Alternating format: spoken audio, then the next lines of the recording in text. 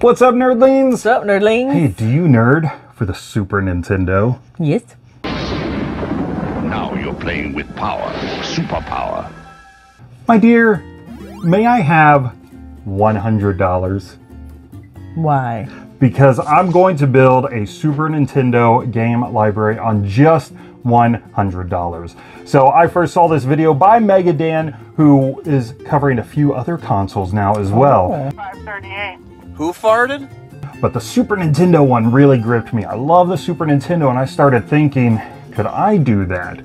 So the idea is to go off of price charting. That way, you know, there's there's kind of a, an average price. I mean, obviously, you can probably find better deals on some of these games, so on and so forth. But this way, it keeps everything, you know, as kind of even and official as possible. Okie doke. Now, I am looking at games that I like, but also games that I feel have some kind of replayability and sustainability. Because these are the only games you can have. Right.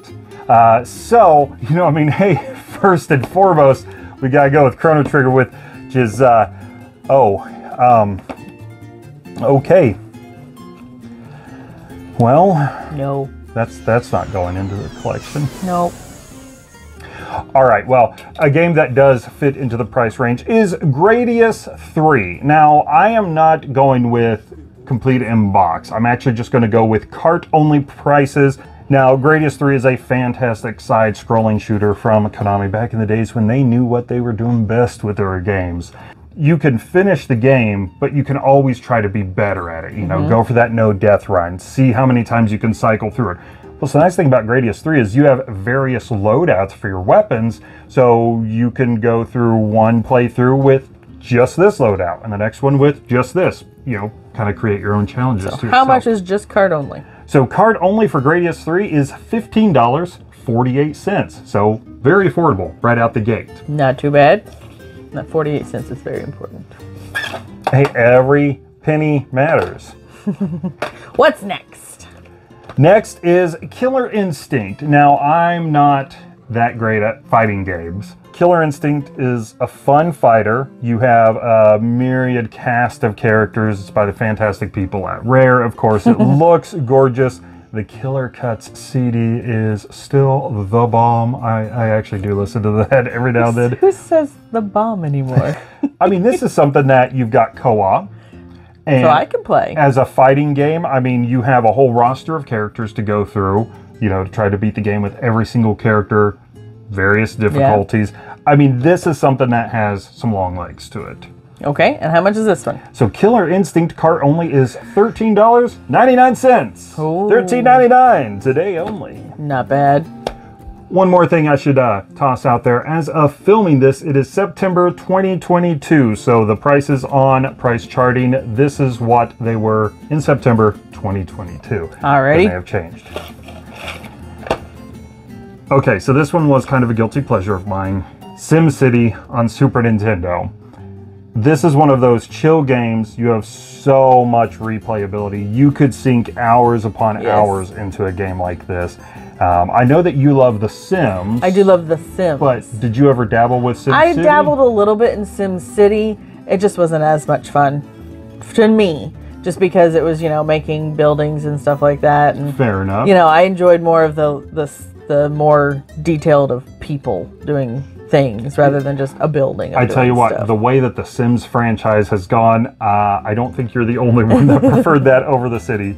But again, something that has a ton of replayability. I mean, this this is perfect to have in your library. well, and then the Nintendo one added some extra stuff to it, didn't they? Uh, yeah, like fun little touches. For instance, the Godzilla style monster that you can have destroy the town that you work so hard to create is Bowser in this. So, how great is that?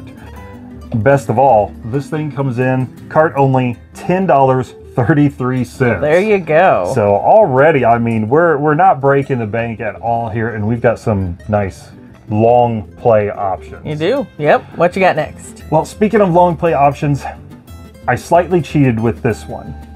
And I went with the Super Famicom version of Super Mario Kart. By the way, it is in a lovely dust sleeve by Video Game Dust Sleeves. Plug, plug. Thank you for that commercial. When I was looking up Super Mario Kart on price charting, the American one was way too expensive. versus the Super Famicom version, which is only $9.92. Well, that's interesting. And seeing as how it's Mario Kart, I mean, you don't have to speak the language to play Mario Kart. So it's perfect. You can still play it. Another co-op offering. There you go. Uh, you know, slight little modification with that Super Nintendo if you need to, or you know, just pop a Game Genie in there, and then you don't have to modify anything. This is it, my friends. This is Galoob's hottest. It's got a 128 pin fastback connector and a book of goodness here that'll take your gaming to the next level. Now, for me, it was very important to try to get an RPG in on this list, but oof, that's where you run into some problems because the Super Nintendo had an amazing library of RPGs. So amazing that it made me such a Squaresoft fanboy that when the Nintendo 64 came about and Square went to PlayStation 1, that's where I went. Goodbye, Nintendo.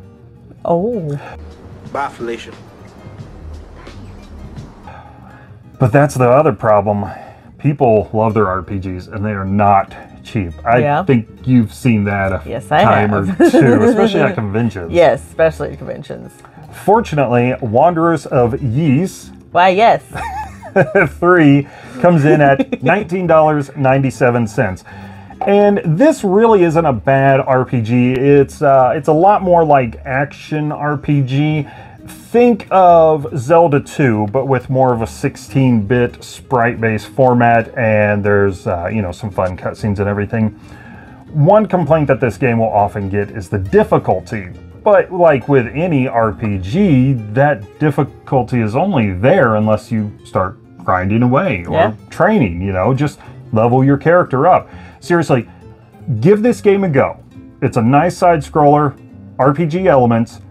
Just do yourself a favor and the first half hour or so, 40 minutes, spend killing some of those lower level creatures and start leveling yourself up from the get go. It'll make the experience that much easier. And when you're having fun with it, then I think that you'll really find a great game here because Yeah. not a lot of people talk about this, but you know, patience, take time, be, be strong. Okay, so for the last game in my $100 Super Nintendo library, this is where the biggest chunk of change was spent at $30 even. I very specifically wanted this one. This is Super Mario All Stars with Super Mario World. Now, if you're going to have a Super Nintendo collection, come on, you've got to have a Mario game, and you might as well go all Yeah. out. On one cartridge, you get five games.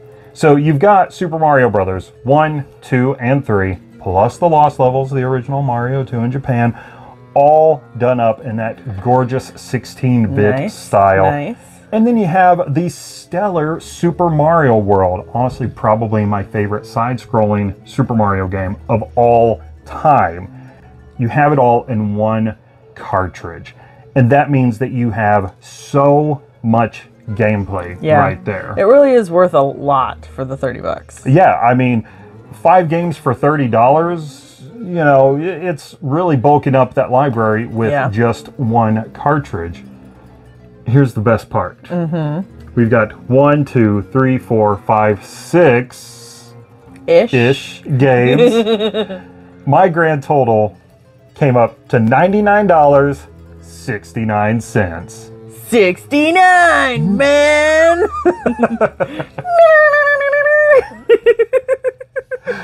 Well, Bill S. Preston. Esquire. Ted Theodore Logan. Uh, anyway, the whole purpose of the games that I chose were things that I felt like I would have a lot of fun playing, but wouldn't ultimately get sick of right off the bat. You know, having five Mario games to choose from, having a racing game that has, you know, near infinite replayability, same with a fighting game, with a shooter, with uh, city builder simulation game. And then, of course, getting some RPG love in there for when you need a little longer form gameplay experience. Now, when Megadan did his video, he did not tag anyone, so I'm not going to tag anyone. Let's not get into that mess because then, you know, someone's like, oh, you should have tagged me. I would have loved to do it. But I would love to see a video response.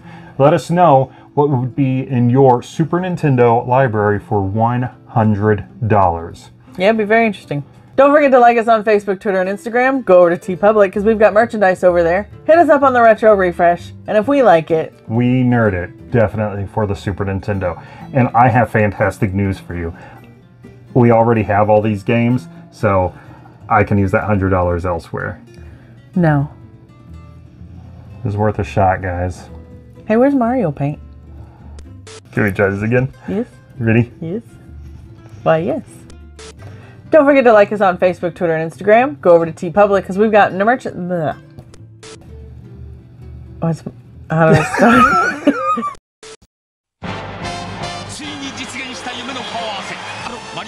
大集合。あピーチ姫が来ました。クッパ大王がキャサリンを。スーパーマリオブラザーズ。マリオ2マリオ3 and スー。パーマリオ USA 4つのゲームとおまけにニューゲームもついて1つのソフトにスーパーファミコンソフトスーパーマリオコレクション。